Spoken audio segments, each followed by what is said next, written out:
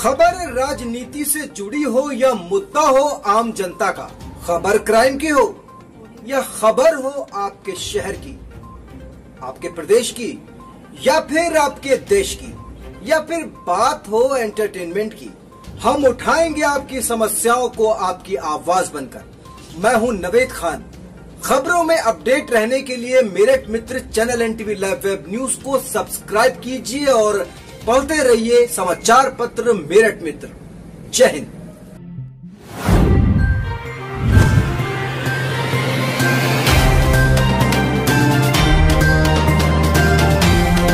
खबरों में बने रहने के लिए बेल आइकॉन दबाइए और साथ ही Meerut Mitra channel NTV live web news को सब्सक्राइब कीजिए।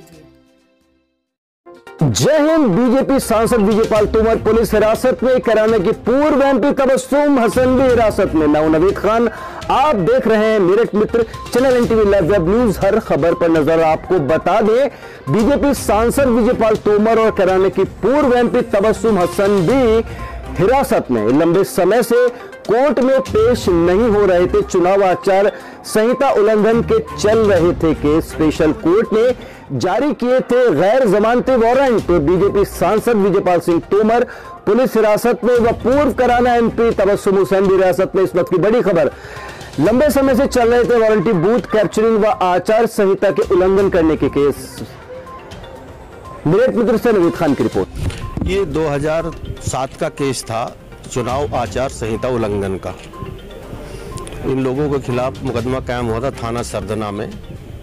विवेचना के दौरान इनके खिलाफ आईओ ने चार्जशीट लगाई।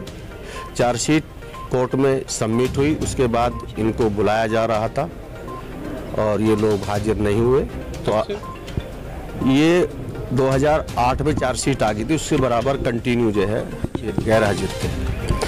आज इन्होंने अपने आप को कोर्ट में जो है आत्मसमर्पण किया है। कोर्ट ने इनको कस्टडी में ले लिया है। अब बेल इनकी दो बजे पेश होगी। जो माननीय न्यायालय का आदेश होगा वो आपको बता दें सर ग्यारह साल से ये हाजिर नहीं हो रहे थे। क्या गैर जमानती वारंट भी इनके खिलाफ जारी थे? इनके इनके खिलाफ गैर जमानती वारंट जारी हुए थे।